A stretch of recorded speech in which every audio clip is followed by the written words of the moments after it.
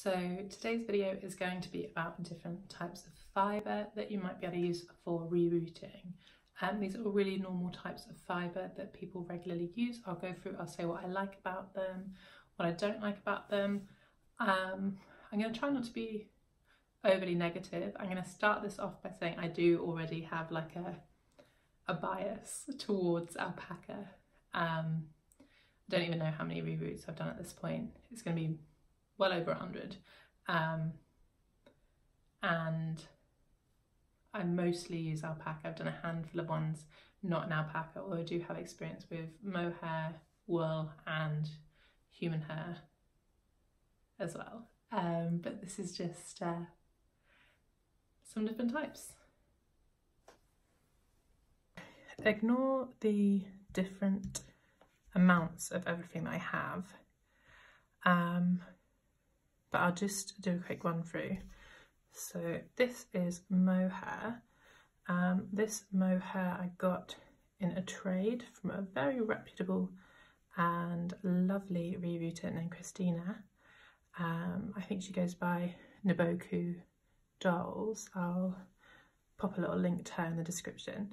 It's really lovely. Oh my god, it's literally gorgeous. I'm not sure if it comes out stunning on camera, um, and then I bought some Wensleydale locks. I haven't rooted in Wensleydale in a long time, if I'm completely honest. Um, it's not normally my preferred choice. I normally go with alpaca because it's honestly the easiest to use, even if it is more expensive. And these were from Newmoor Barn on Etsy with a really, really reasonable price. Yeah, this is Teeswater from Yorkshire Wools on Etsy. Again, really, really reasonable. This, I do have more of this, but um, it's dyed a more hard to see colour. Um, this is a very small sample of um, mohair, but it's more of a kind of crimped mohair than this kind of beautiful wave. And that one I'm 90% certain I would have bought from Mohair House, but although I'm not sure if they're still going. And this is some alpaca of mine. Um, I buy mine dirty and then I process it myself. I don't sell it. Um, this is purely a hobby for me. It's just cheaper to buy in dirty and sort out myself. This is a mid-length. It's not long, it's not short. And I've dyed it purple, but I think the reason there's only a little bit of this is because it was a test dye and it's quite patchy, so it was not a good test dye. yeah, so that's what we're going to be working with today. So I'm going to start off with my mohair with the wave and this fibre you can already see is quite thick. Um, the strands themselves are much thicker than on alpaca. It's honestly gorgeous. It's um, much more close to human hair than it is to alpaca, just in thickness. So I'm just going to pull out one lock. So I'm just going to do a brush test. So I'm not sure if it will pick up on camera, but can you see this kind of waxy residue that comes off? So you get that um, on mohair, but you do not get that on alpacas. It looks kind of dandruffy, but it's like a, a waxy, greasy coating. It brushes out quite nicely because it's quite straight for mohair. So you can see it, um, it stays relatively contained, which is ideal for rooting, to be honest. This might be the nicest mohair I've actually ever brushed up for rooting. So I'm going to put that to the side and I'm going to do the other mohair because I think it's probably easiest to do them for comparison. So this mohair, I have to say, is really waxy. I was just rooting something up in this and I actually had to stop and go soak it um, in some soapy water because it just, it was getting nowhere. I might wipe this residue away before I keep going. So this one, um, I had cleaned before I dyed it. And then I think I washed it again after it was dyed. But I have rooted something up in this and I did have to then wash it a few more times after it was rooted to get rid of, can you see the way it's all sticking together? This waxy coating. So this one you can see it also has these kind of waxy coatings, but they've all been dyed purple. So I'm just going to clear the area a bit before I keep going. But you can see here that it is huge. Like it just, it just gets massive. So you can tame it down a bit, you can make it a bit smaller and pop it here. Ideally, you want something more like this, especially if you're new to it, because this is much easier to root because it stays kind of nice and tight. So when you pick it up, you can see how much you have. You can easily tell before you start knotting it that you have enough for a plug. It's nice and easy, nice and simple.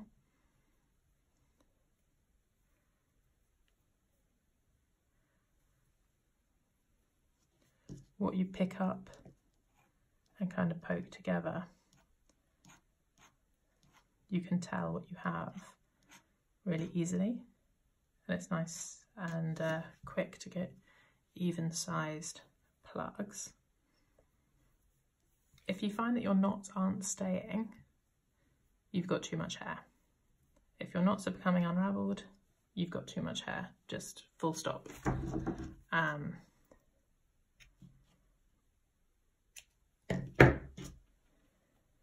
so those nice and simple.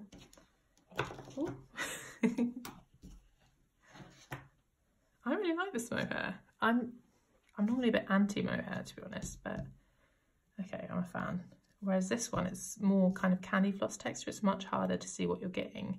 Whereas on that white mohair, when I pushed it together, it instantly formed, you know, a very clear segment. Here is, it's like sticking a needle into a, a candy floss. So then I have to pick it up twist it to see how much I have and now here I think that's not quite enough. So I want to get a bit more.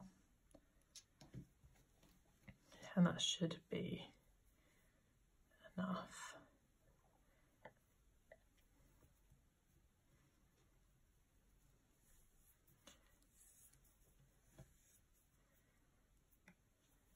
okay that looks good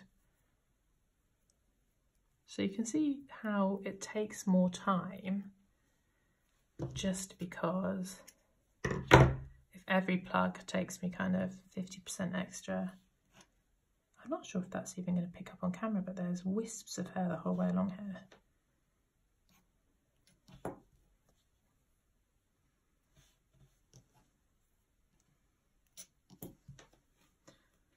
Anyway, it's not that the hair isn't any good for rerooting, it's just slower.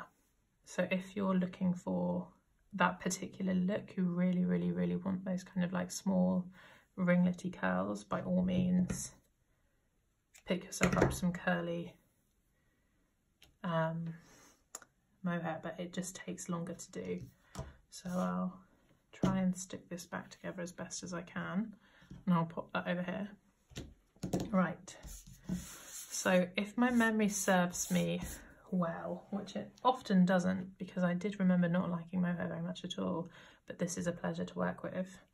Um, I do remember finding this quite difficult to do. Um, for reference, if we talk about texture, this is very smooth, but it's not, um, it's very smooth, but it does feel hair-like. Um, much, quite similar to my own hair, the feel of it whereas this is smooth and so, so soft. That was the alpaca for reference. Whereas um, the Wensleydale is soft by all means, but it does have a kind of drier, coarser texture, but that's curly hair does in general. the Teeswater, this Teeswater, I don't know about all Teeswater, I would say has a similar texture to the Wensleydale, but maybe slightly silkier. But again, I don't have enough experience with these two fibres to tell you whether all of it is like that. Um, these are packaged beautifully, by the way. This is what you want when you're buying locks. You want someone to have already found your heads and your tails for you, or your root and tail, top and end, whatever you want to call it. Um, they're already all in the same direction, which means they are less likely to have any kind of pre-felting going on. And same here. So I'm really, really impressed with this because sometimes you just get a bag where they're all facing different ways and that's, I mean, that's not great for beginners because sometimes they find it hard to tell, you know, what's the tail and what's the top. Whereas you can normally tell because the um, the tail will have more of a tight curl and the top will tend to be wispier, but quite often it will have a harsh line where it's been cut. Um, right, so let's get some of this. I feel like this is about the same amount I used for those, but this is shorter, which is going to make this a little harder. Although I'm quite excited about this. I feel like if I got a good conditioner on this, it would actually be lovely. So already you can see that because of its curliness, it has just disappeared into nothing. Um, much again, much again. This is terrible English. Um, I promise this is my like native tongue. Um, once again, it's got a real candy floss texture to it. Um, I don't think it's just the curls that make it do this. I think it might be something to do with um, it being generally a drier hair, whether this means more static works its way into it or what, I do not know. Um, but the nice thing about this though is it's not sticky at all, whereas the mohair had quite a lot of kind of like um, grease to the tips which is not a sign of poor quality mohair. Honestly, it's just a thing about mohair. This one didn't at all. I cut because it makes it easy to see which end is which.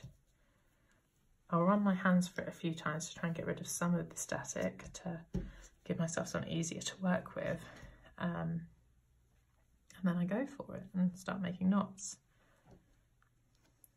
This is even harder to see than the curly mohair. But that was quite a good first, but that might be a bit too thick actually. I'll get rid of some. I do think it's lovely fibre. I do think it will make a, a nice reroot, but um, it will not be as easy to root as alpaca. But saying that, this comes out about five pounds an ounce or something similar, whereas alpaca really varies in price. But I mean, sometimes it can go for like, you know, 40 quid an ounce would not be um, unheard of. So it's like what, a little over 10% of the price of alpaca. So, I mean, the feel is completely different. This is much drier, um, much more coarse fibre, but saying that it's not, um, it's still soft. It's just, this is ultra soft. So like, this is super, super, super soft but you would never be like sheeps aren't soft, if that makes sense. Um, this, like, you definitely, is definitely rootable, absolutely. And if that was the kind of style you're going for, that you wanted, kind of like um, curlier, drier hair, you weren't going for like super soft, super sleek, absolutely usable, lovely fibre. I don't really have anything bad to say about it. This is just a comparison video. Um, it's each to their own here. Okay, so Teeswater. Teeswater again is another sheep's wool. I'll grab a few out because I want to have about the same amount I did of everything else. These are very tight curls. These are going to be difficult to brush. Um, tighter curls are more difficult to brush because they try to curl back up. Um, whereas alpaca doesn't have curls usually, so it doesn't spring back. Again, I'm going to start at the very end and I'm going to work my way up. So just doing a stroke test. Um,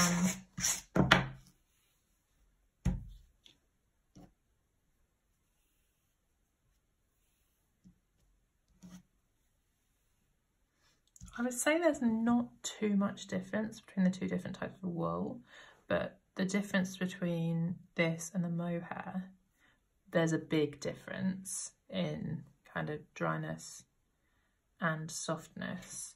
And then the difference, even from this to this, is like staggering. Um, okay. So much hair. Right, where start? I'll start with a snip. Then I will try to get enough hair.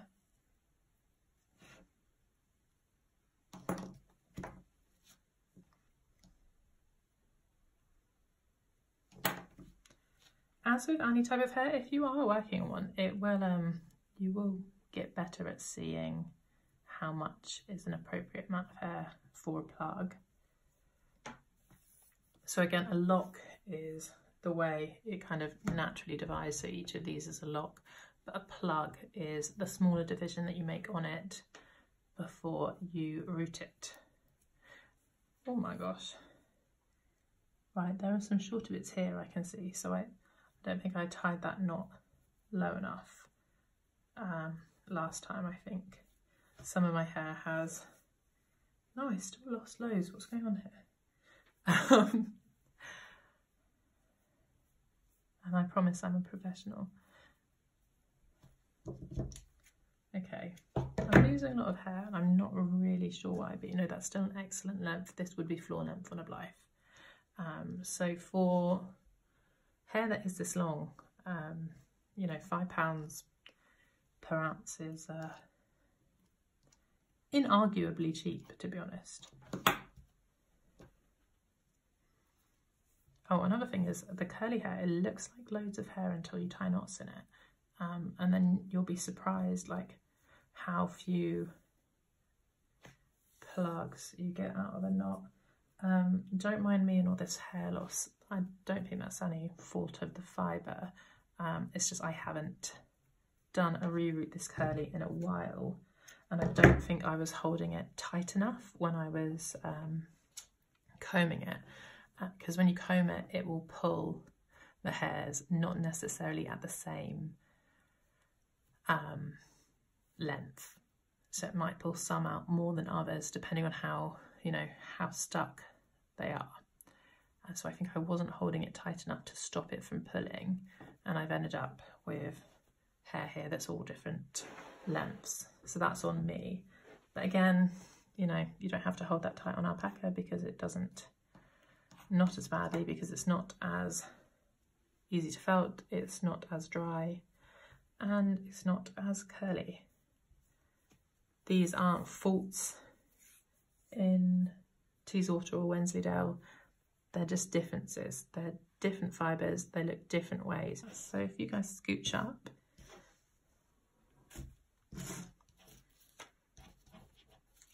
I'll just pop you on your friend and I'll whip one of these out. So I'll get a longer one. Um, this is a lock of alpaca. This alpaca has been washed, dyed and brushed it has been thrown in a plastic bag with the rest of my scraps. Um, I don't know when I did a short purple reroot. I literally can't remember it. So I'm fairly certain that this was a dye test. Because I don't think I ever made a full reroot in this. If I did and you own it, I'm so sorry I forgot. Send me a little comment below being like, you did make one of those, I own it.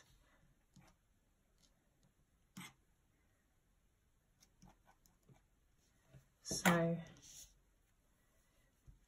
if we show, like if you brush this, it stays exactly where you left it. Literally the best you get is lines down it from where the teeth were. So this is my alpaca and I'll start making knots. So you can already see before you pick it up how much you have. I make a lot of alpaca reroots, so I'm fully aware how much I want for a plug.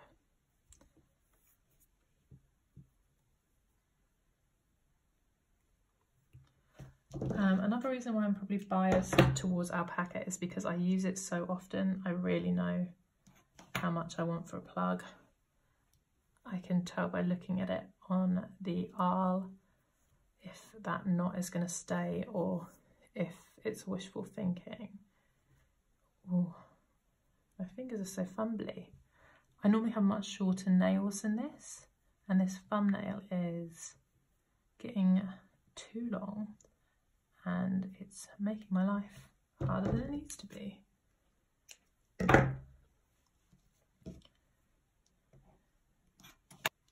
Oh, another nice thing about alpaca is even if it's really kind of unevenly dyed like this is, once it's rooted, a lot of that gets kind of disguised and it looks lovely. It's just, in my opinion, easier. um, but, you know, that's, that's me. That's why I prefer it. It's not, um, there's nothing wrong with mohair definitely not. Mohair is still a very popular fibre to root in, and there's nothing wrong with Wensleydale or Teeswater, but they tend to be bought more by beginners, and I think often it puts people off rerooting because if you start with something like this, it's really easy, and then you want to do it again because you think that was so much easier than I thought it would be. Whereas if you start with something like this, you can already see that like this compared to this, like what do you think is going to be easier to work with? It's alpaca. So people buy teaser Teeswater or mohair as a as a beginner because it's so cheap. It's much harder to work with and they, they don't want to keep rerooting because they think, you know, this was crazily hard. But the results can be quite impressive because it is so um, such kind of like a wild fibre when it's brushed and it, it can be absolutely, you know, I mean, look at this, like truly like gorgeous, cute curls when it's in its curl formation. Um, you can get such completely different looks. Can imagine a whole reroot of, you know, this. Actually, I've got a bunch. Like this is mohair plugs I've made. Um, that because I've just made them, they're still in there, you know, frizzy bit. But imagine like a whole reroot of this because this is only 150 plugs and I would use a thousand. So it would be just huge. Um, stunning, really. And you could do all kinds of hairstyles with it that you just would never be able to do on alpaca because alpaca is just far too straight. So again, I don't want to say anything bad about any of the fibres, like they're all perfectly good in their own right. As a beginner, I would try and steer you towards a straighter fibre like, you know, a loose wave mohair or alpaca. In my opinion, alpaca is easier because it's finer. I think it holds knots better. Um, again, these are opinions, not facts. Um, you can see why the curlier fibre would be harder to work with. It's like clearly harder to see what you're doing, but again, it does provide you with a completely different scalp at the end than a straight fibre would be, as is evident by looking at it both in its brushed form and its straight form. Um, so if you did want to save a bit of money and not pay full whack for the alpaca, maybe go for some wavy mohair because this honestly is truly gorgeous would make an absolutely gorgeous will make an absolutely gorgeous scalp. Um, and even mohair is significantly cheaper than alpaca. So you won't get the exact same effect. This is um, slightly less soft um, slightly thicker fibres and this is you know very wispy very very soft. I have got crimpy mohair straight mohair. I've got crimpy mohair but doubled over in a lock and loop. Um, you should not lock and loop mohair or any natural fibre and I will explain why. That's because you can, I'm not sure if it will show, but this is already trying to clump together in a kind of dreadlocky fashion. And this has been washed and not brushed and you can see that these are not going back into curls and that's because the hair is facing in two different directions. So hair has little barbs on it and if it's all facing the same direction, these barbs don't really properly intertangle even if there's two hairs side by side, they just don't intertangle. But um, if your hair is doubled over, it can intertangle and it can kind of lock in that position and that's how you would felt, um, which is something people do on purpose, but you don't want that to happen when you're doing hair. So this is my Wensleydale and this is my Teeswater. And then here's some alpaca, although I have made a bit of a mess of this because I've used two different alpacas because there was already some fully purple stuff in there that's much longer than this purple and white one. So it's white and then it goes to purple, but actually, because this hair is only about that long and the rest of the purple is much longer, it makes it look like the alpaca is all broken, but it's not, it's just two completely different lengths of hair, um, which in hindsight was a bad idea. So I've just gone through and wet and washed the hair and given it a good old shake. And you can already see kind of the curl formation coming back. Um, the Wensleydale seems to have suffered the most. So I'm going to scrunch it and I'm going to leave it somewhere to dry. Um, so I'll go through again and show you. Um, I've got the mohair, the curly mohair, looking beautiful. I've got the straight or kind of like wavy mohair, again looking gorgeous.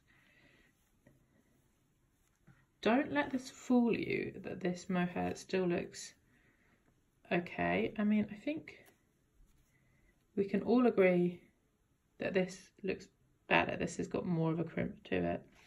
Whereas this one, um, because they're doubled over, it's kind of preventing the curl because the hair is not going in the same direction. And because this is doubled over, it will felt with time. This is going to felt. Um, especially if you bring the doll anywhere, it's in a bag and it rubs.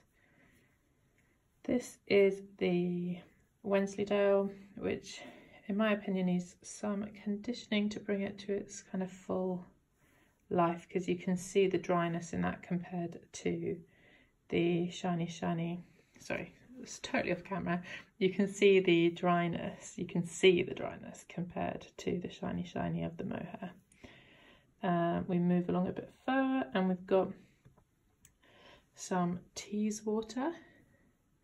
The Teeswater is taking its curl back a bit better than the Wensleydale, but to be honest, they could both do with some conditioner. And then we've got my two different alpacas and totally different lambs, which is just air dried, straight, smooth as expected for alpaca, to be honest. Um, but yeah, so here's just an example of what the different hair types look like when rooted, because that will help you make a decision. You can see mohair quite easily goes back to its this has been washed several times with um, dish soap. So make no mistake, this has not been um, like lovingly handled in a better style than this has.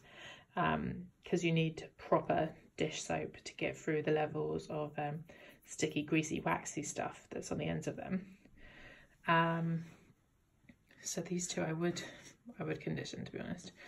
Um, but the alpaca, as per usual, just comes out fine. It looks a bit raggedy here because normally I would straighten alpaca before I photographed it just to make it um, ultra um, nice for the photographs. Um, but yeah, just depending what you wanted for your doll, for the look of your doll, and how much time you were willing to invest, how much money you were willing to invest um, these are just the different looks that the different styles of hair give. So we've got, you know, very crimpy mohair. We've got a wavy mohair. Would not at all recommend doing lock and loop. Really, really is going to mat. It's a bad idea.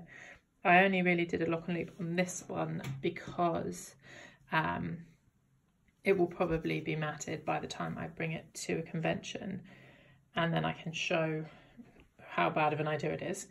Um, then this is the Wensleydale and this is the Teeswater. The Teeswater actually does look pretty good. Um, nice curl definition in there. And then some alpaca. I might brush the alpaca through.